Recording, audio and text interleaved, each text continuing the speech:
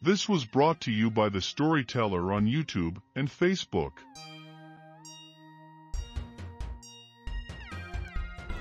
The Irish text relates the travails of Irish kingdoms in withstanding the depredations of Viking invaders over the course of several centuries, leading to the emergence of the Dál Gcais Boruma dynasty of Munster, the rise of its greatest son Brian Boruma, Boru, to the lofty title of High King of Ireland, the rank seldom held by the kings of Munster, and his subsequent fall and death in an insurrection led by revolting Irish and Scandinavian populations in the fateful Good Friday Battle of Cluain Tarbh, a Clontarf, on April 23, 1014. The Old Norse text relates the settlement of Norse colonists in Orkney, and the establishment of a Jarldom, earldom at first independent, but gradually brought under the contending influence of both Scotland and Norway.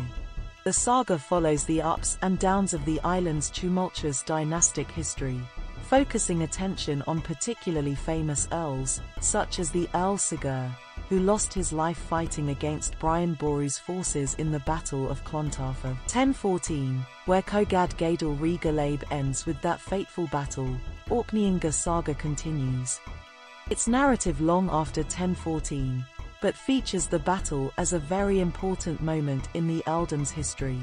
Both texts, then, narrate a period of extensive intercultural contact between Norse and Norwegians, Danes, Orcadians, Icelanders, and Celts, Irish and Scots over a number of centuries. The work survives in three main manuscripts. The earliest of these occurs in the celebrated Book of Leinster, a crucial surviving medieval manuscript that preserves for us such other works of importance to modern Celtic studies as the Táin Bó Cúailnge, various tales and poems of the Ulster cycle, and the metrical Dindshenchas. The Book of Leinster was produced in the late 12th or early 13th century by various hands, probably under the supervision of Abbot Áed Ua Crimthainn, a well-connected cleric stationed at the prominent Tipperary monastery of Terdiaglas.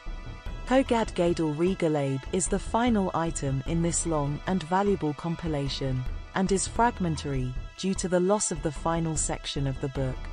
Trinity College Dublin Manuscript 1319 preserves a second, also fragmentary account, differing markedly from the version contained in the earlier manuscript.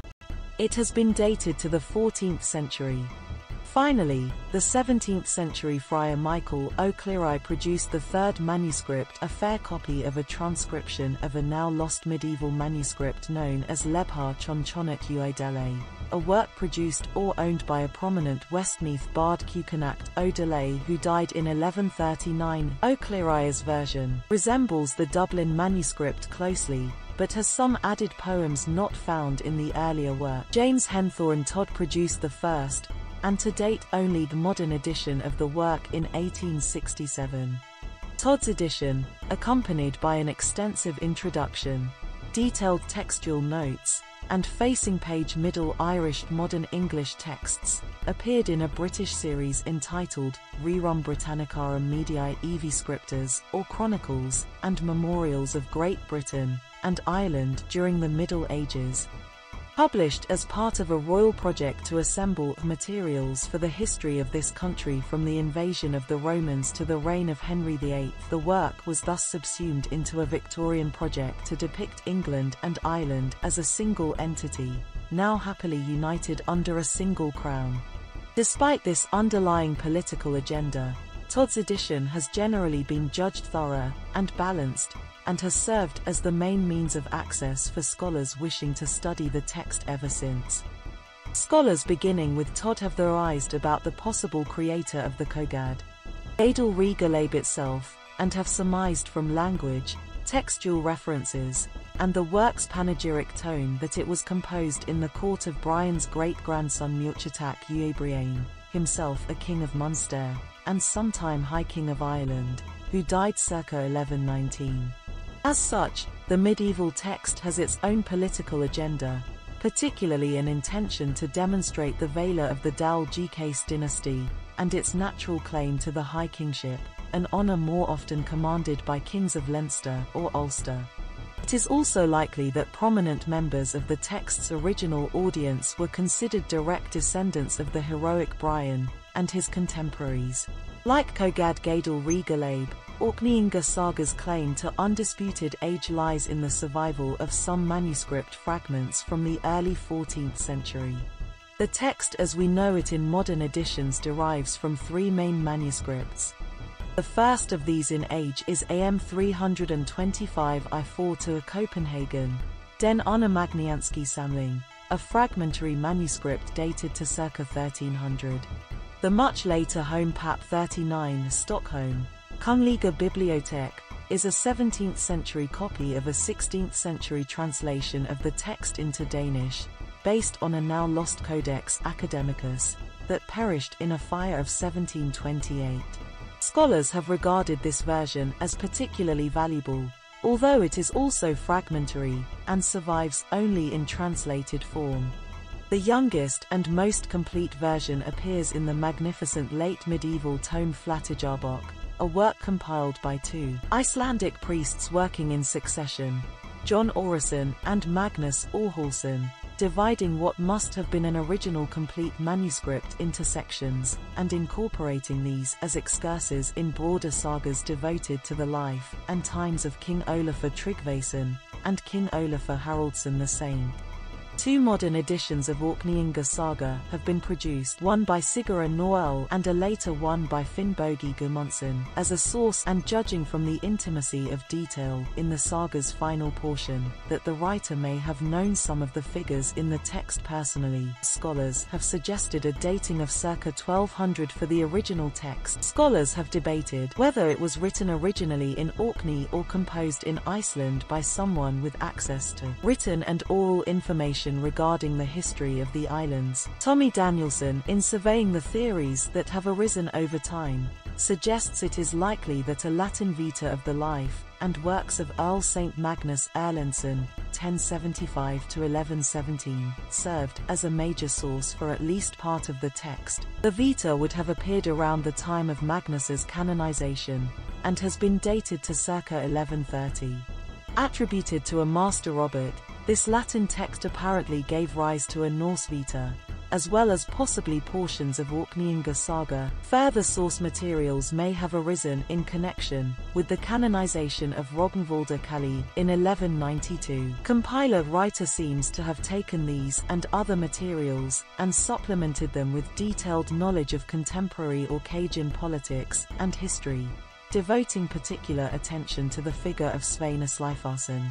Dominating its final section, Hudson suggests that the composition of the saga may have occurred within a monastic setting, where access to Irish annals and Irish learning may have influenced the work. Icelandic scholars, in contrast, have theorized an Icelandic genesis for the compilation, occurring possibly at the estate of Oddi, which had close ties with the Earls of Orkney over a number of generations. In either case, such specific textual sources appear to have been grounded and interpreted within a broader, imminent understanding of Norse-Celtic relations, as they occurred in the 8th through 12th centuries. Both Cogadh Gaedal re Gallaib and Orkneyinga Saga can be seen as complex products of the learned enterprise of their time. Norse and Celts are depicted within narratives that celebrate rulers who were particularly adept at suppressing or overwhelming their opponents. Both works are retrospective and idealized, and although we can posit a specific time and place of authorship for each work, we also see that the texts as we have them reflect successive revisions over a number of centuries, during which the textual history of the works becomes inextricably bound to a wider cultural tradition regarding Norse-Celtic interrelations and their place in local and national histories. A second point of comparison concerning Cogadh Gaedal re Gallaib and Orkneyinga Saga revolves around questions of genre and theme. Both Cogadh Gaedal re Gallaib and Orkneyinga Saga differ in details of form. Although Dillon mentions Brian Boru as the final topic of the historical cycles, he includes no discussion of Cogadh Gaedal re Gallaib whatsoever in his volume and it is clear from his text that historical accounts of battles with Vikings are not seen as belonging to the topic of early Irish literature. Likewise, in their influential anthology Ancient Irish Tales, Tom Peete Cross and Clark Harris Slover include no piece or discussion of Cogadh Gaedal re Gallaib, although they do include a substantial section on Tales of the Traditional Kings, where a history of Brian Boru would logically be placed. In the 19th century, scholars such as Timothy Lee could read Cogadh largely as a battle record rather than as a piece of literature, accepting it entirely as a valid and valuable historical source, to be confirmed through cross-referencing with the various annals that relate the same events. Later scholars tempered these views somewhat, although remaining confident regarding the basic historical accuracy of the core events depicted, more recent scholars have continued to look to the text as a key to understanding the rise of the Dál Gcais dynasty from comparative obscurity to island-wide prominence in the late 10th century though with greater hesitancy regarding its depiction of events. Such scholars have increasingly regarded the work as an imagined history, one that tells us a great deal about how a scribe in the employ of the Dal Cais wished to see the past, particularly the rise of his sovereign's grandfather to the high kingship of the island. So although Cogadh Gaedal re Gallaib has never been openly inducted into the esteemed category of early Irish literature,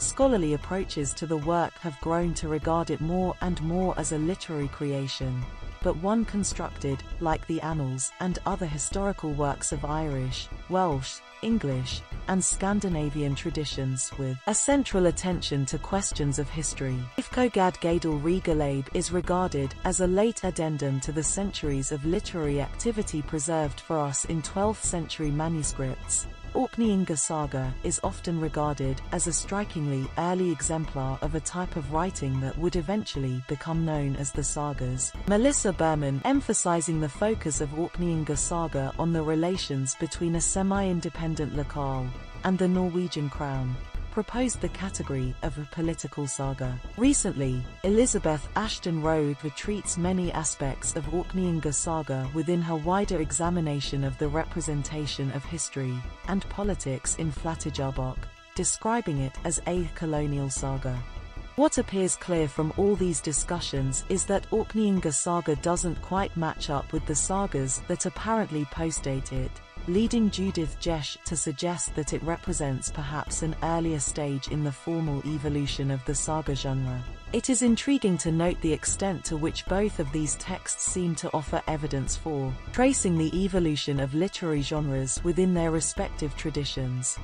Cogadh Gaedal re Gallaib offers a glimpse of the further development of Irish historical discourse from what we find in works recognised as an early Irish literature to works that come after. The Battle of Clontarf directly links the Irish Cogadh Gaedal re Gallaib and Orkneyinga saga. The topic of Brian Boru's final battle in fact finds repeated depiction in the Icelandic sagas, appearing not only in Orkneyinga saga, but also in the more famed and valued Njal saga, as well as the fairly obscure Orstein saga Suhulsona, and the once independent poem Darraðarljóð, incorporated into the prose text of Njal saga. The Dutch scholar Albertus Goedheer in 1938 took pains to produce a careful comparative study of these accounts already at a relatively early stage in the development of modern Celtic studies. Scandinavianists, starting with Sophus Bugge in 1908 and later Einar O. Sveinsson in 1954, Exelvíkslix, postulated a lost asterisk Brian saga, a Norse work focusing on the life and times of Brian Boru, and resembling in some details Cogadh Gaedal re Gallaib. Later scholars have been less inclined to posit a complete saga, preferring instead to suggest the existence of various narratives regarding the battle that were taken up and adapted by saga writers in various ways, questioning some of the logic behind the postulated asterisk Brian saga that takes up suggestions from earlier scholarship that the various Old Norse accounts of Clontarf could derive from a saga devoted not to the Irish king, but to the Orcadian Earl Sigurd. Such a theory makes Orkneyinga saga much more central to the story of Old Norse accounts of the Battle of Clontarf, and reinforces the idea that the saga may have served as a source for other sagas, such as Njal saga. Certain lacunae persist in our understandings of Cogadh Gaedal re Gallaib and Orkneyinga saga, and their relations to other elements of their respective traditions. Cogadh Gaedal re Gallaib and Orkneyinga Saga have much in common with each other both in terms of age and content. They were composed within about a century of each other, and seem to rely at least in part on the same analytic antecedents, reflective of a shared historical perception, but contrasting historical evaluation of the events described. They each look back with a mixed sense of nostalgia and revulsion at the violence, volatility, and heroism of a time a century before, when figures larger than life strode the same halls and occupied the same seats that were by that later time presided over by more mundane and limited rulers. Once we have established overall formal commonalities, particularly in terms of brother partnerships or rivalry, images of empowered or goading women, images of significant banners, and depictions of heroic deaths steeped in hagiographic detail. These formal and content-related features suggest a resemblance between Cogadh Gaedal re Gallaib and Orkneyinga Saga that goes much deeper than their seeming surface differences rooted in an immanent understanding of the Norse-Celtic encounter shared by Irish and Norse writers of the time. Let us note the concrete details of the shifts in emphasis as we find them in the texts that come down to us. In neither Cogadh Gaedal re nor Orkneyinga Saga are we dealing with artless imbalance. In Cogadh Gaedal re the narrative follows characters only during their time in Ireland, providing no details of where they go or what they do when they leave the island. In Orkneyinga Saga, correspondingly, the narrative provides intimate details of characters' experiences in Orkney or in Norway, but limits description of their time in Ireland to a bare minimum, whereas both texts depict their characters traveling across the prime cultural boundaries of the region, neither narrator follows them outside of his own cultural sphere. Reading between these two texts, it is as if we are viewing the same events via different cameras, with a voiced-over narrator on each side describing the events from a single, opposed vantage point. The two texts display a surprisingly similar inscribed narrator, one probably strongly influenced by hagiographic literature, a quintessentially important literary and religious genre of the time throughout the region. Another striking similarity between these texts, however, is their substantive incorporation of poetic texts either as narrative events or as narrative evidence, Although Cogadh Gaedal re Gallaib makes more consistent use of verse as a narrative event, both texts contain plentiful amounts of poetry and use it as a key part of characterization and narrative interest. In providing uneven treatment of varying narrative moments, spotlighting only a single side or locale of a historical conflict, strategically allowing audiences into the minds of particular characters, and incorporating poetry as an important part of the narrative framework. Both Cogadh Gaedal re Gallaib and Orkneyinga Saga display a highly comparable set of formal characteristics, ones that make the texts resemble each other to a surprising degree, despite their overtly partisan attention to the opposite sides of the narrated Norse-Celtic conflict. Cogadh Gaedal re Gallaib and Orkneyinga Saga are more alike than their cultural assertions of conflict might lead us to assume, and as we shall see, this common ground extends beyond form to include important aspects of narrative content as well. When we turn to questions of narrative details, Cogadh Gaedal re Gallaib and Orkneyinga Saga again present a surprising degree of common ground, particularly on the level of character type and function. We may first note that both texts employ stock stereotypes in depicting the enemy. This fact will become clearer, but suffice it to say here that the Irish text depicts the Norse as waterborne, roving, and brutish, while the Norse text depicts the Irish as conniving and prone to sorcery. In Cogadh Gaedal re Gallaib, the Norse are typically depicted with water metaphors, as if they were one with the element that brought them to the shores of Ireland. The writer amasses long chains of alliterating terms to describe the Norse, few of which are positive in any way. On the other hand, the Irish are depicted in Orkneyinga Saga as duplicitous and magical. For the writer of Orkneyinga Saga, the Dubliners appear to be Irish, or at least behave in some sort of Irish, that is, underhanded manner. In Cogadh Gaedal re Gallaib, of course, they are depicted as purely Norse. In any case, Ireland is a place of duplicity and misdirection, a place where people triumph through cunning. Such stereotypes create stark contrasts between Irish and Norse, ones that, when coupled with the textual silence regarding the other when away from the narrative's inner world, create the impression of utterly separate, mutually hostile polities. In a very real sense, each text asserts stereotypes and narratives of mutual opposition while revealing processes of cultural merger. Such competing narrative depictions create a paradox in both texts, which, similarly, goes largely unaddressed by the narrator, or even by later scholars. A further element of similarity of content lies in the narrative treatment of brotherhood. This notion of a partnership in ruling between brothers, potentially with rivalry, and even animosity, is a familiar feature in many Celtic narratives, some of which are Irish. It also abounds in Welsh tradition, the same attention to brotherhood occurs over and over again in Orkneyinga saga, where time and again the earldom is subdivided for a generation between the sons of the previous earl, leading to fraternal conflicts that also often result in conflicts between uncles and nephews. This feature of Orcadian rulership is shared with Norway. If the text's attention to issues of brotherhood may seem reminiscent of each other, their attention to outspoken wives and powerful women is even more noticeable. Gormflaith seems to carry on an ancient Celtic tradition of locating the sovereignty of the land in a queen, who confers upon the man who acquires and marries her rulership over the kingdom. Gormflaith's very name reveals this function, her name contains the element flaith and means literally illustrious or splendid sovereignty, suggestive of the, her and other such queens' role as the bearers of sovereignty, perhaps literally as well as figuratively, since they would be the mothers of future sovereigns.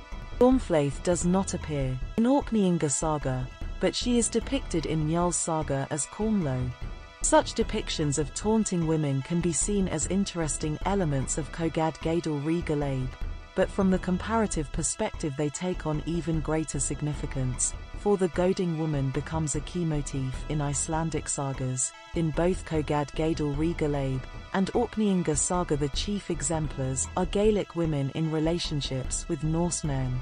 Another striking feature common to the two texts is the central narrative role they accord in connection with the Battle of Clontarf.